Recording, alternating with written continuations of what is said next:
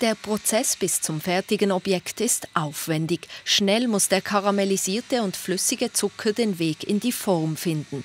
Die Schweizer Künstlerin Ursula Palla befindet sich mitten im Gießprozess, eine Arbeit, die Geduld fordert und doch schnell gehen muss. Weil der Zucker, das sehen Sie jetzt, der wird dann immer äh, dickflüssiger und er härtet sehr schnell aus. Es ist wirklich so ein Rennen gegen die Zeit im Prinzip.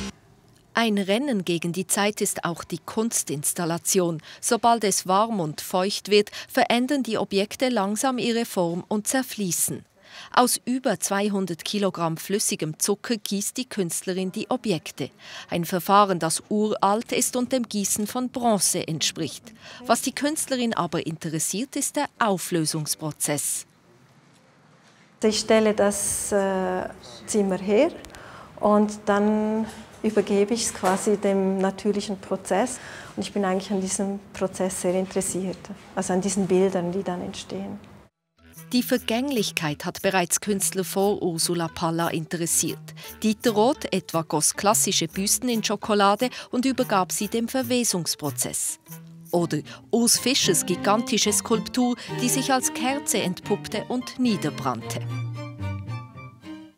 Das Auflösen als Teil der Kunst. Wie das Karamellzimmer sich verändern wird, weiß selbst Ursula Palla nicht.